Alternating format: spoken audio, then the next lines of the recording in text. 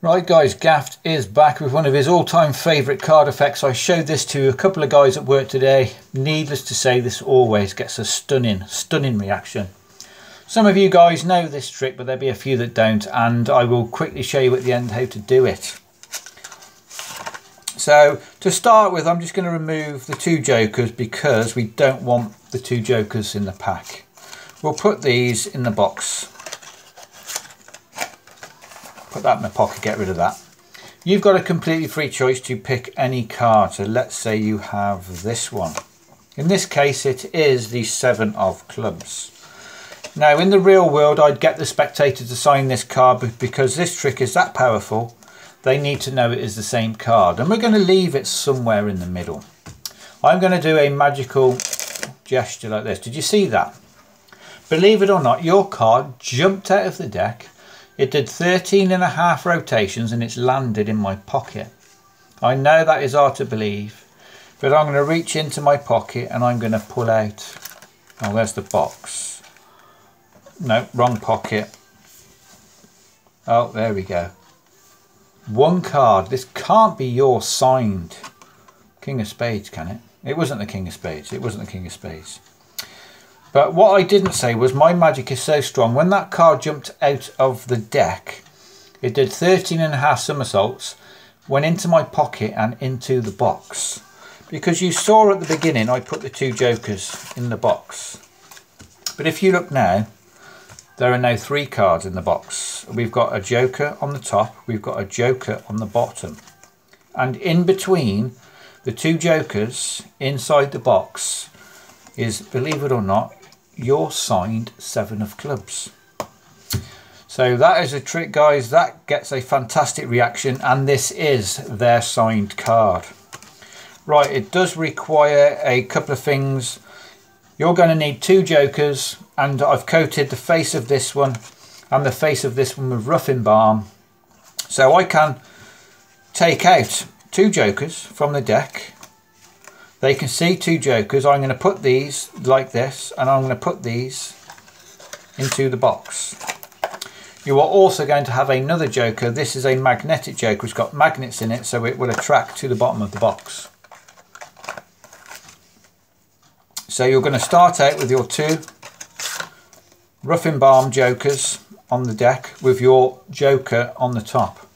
Right, I'm just going to show you a card trick, but I just want to get rid of the two jokers. So you're going to take the two jokers off, show them the two jokers, making sure you put the rough against the rough, and then put these in the box and get rid of them. Put the box in your pocket, but remembering the orientation of the box.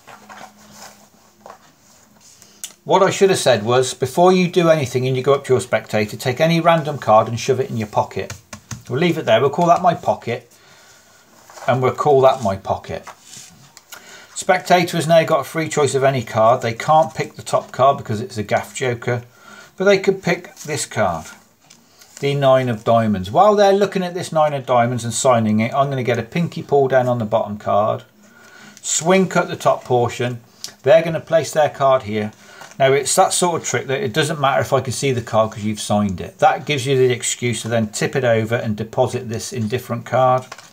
So you've signed the nine of diamonds and we're going to place it in the middle.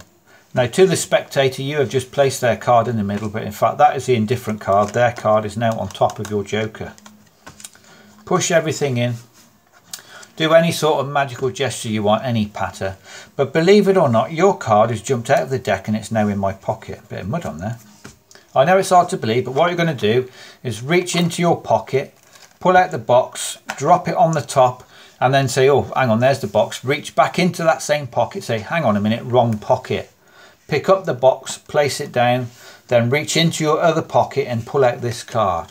This is complete misdirection. Takes any sort of heat off this. It's a bit of time misdirection for the box. And show them the King of Spades. It wasn't the King of Spades, was it? Damn it. But my magic is so strong. What's happened is now, the Joker has stolen their card. It's on the bottom of the box. It's invisible to them. All you're going to do now is pick up the box to the spectator, rotate it this way, open up the flap, and when you open up the flap, you're going to pinch those two cards in the box and where you've got this cut out of the box, you're going to pinch there and pull everything out.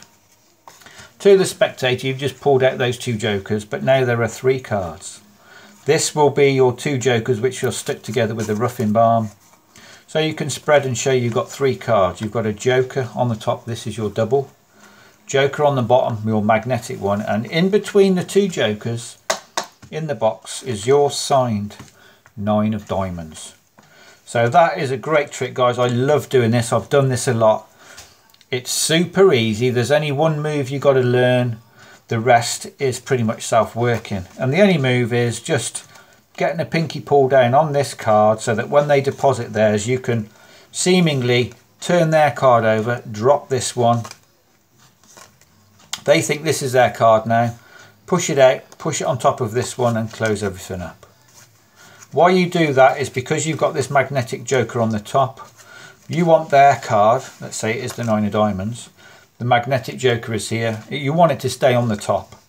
So the 9, deposit that indifferent card, push the indifferent card off, put this on the top, and now the 9 and the joker are back on top of the deck.